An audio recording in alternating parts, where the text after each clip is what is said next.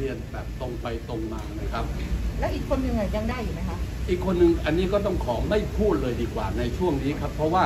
จากความผิดพลาดที่ผ่านมาเนี่ยเราก็ได้รับบทเรียนอีกอย่างหนึ่งนะครับ ว่าสิ่งไหนที่ยังไม่จบ อย่าเพิ่งพูดก่อน ซึ่งตัวผมเองก็ผมก็ยอมรับนะครับว่าผมมีการให้การมีให้สัมภาษณ์ออกไปเป็นเบื้องต้นไปแล้วนะฮะแต่หลังจากนี้เราคงจะต้องทำอะไรที่ว่าครอบกว่าเดิมนะครับเพราะฉะนั้นก็ คงจะมีศิลปินระดับดัง ๆ ของโลกเนี่ยเข้ามาแน่ แต่จะเป็นใครหรือยังไงเนี่ยก็ต้องขอให้มีการลงตัวเรียบร้อยทั้งหมดก่อน ถึงจะนำเสนอต่อไปครับจำเป็นต้องถึงขั้นตั้งกรรมการสอบไหมคะว่าข่าวที่มันคลาดเคลื่อน แล้วก็มันมันทำให้เกิดความเสียหายอันนี้เราก็คงจะต้องหารือกันภายในกระทรวงก่อนนะฮะ ค่ะ และยังไงผมก็คงจะต้องหารือกับทางผู้หลักผู้ใหญ่นะครับ ไม่ว่าจากทางพรรคก็ดีหรือทางรัฐบาลก็ดีว่า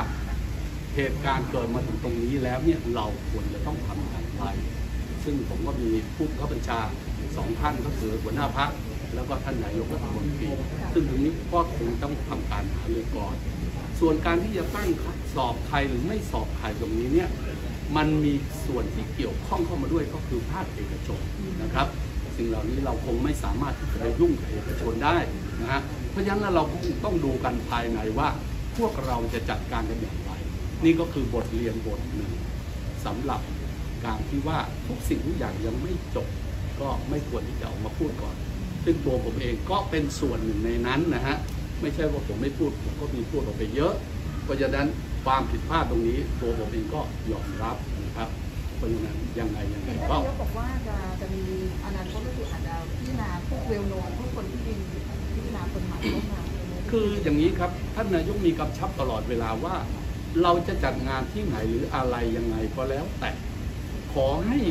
มีศิลปินไทยร่วมด้วยทุกงาน ซึ่งท่านนายกได้มีบัญชามาว่า ให้มีการจัดการเขาดาวทั้ง 5 ภูมิภาค ก็คือภาคกลางไม่ใช่ภาคตะวันตกตะวันออกเหนือใต้อีสาน ซึ่งผมได้หารือกับทางการท่องเที่ยวแห่งประเทศไทย ก็น้อมรับคำบัญชาของท่านนายกเราจะทำดำเนินการ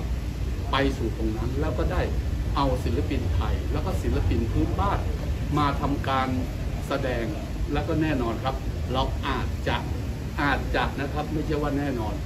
มีศิลปินระดับต่างชาติมาแสดงด้วย สิ่งเหล่านี้ก็ขอทำความเข้าใจและความชัดเจนก่อน ถึงจะ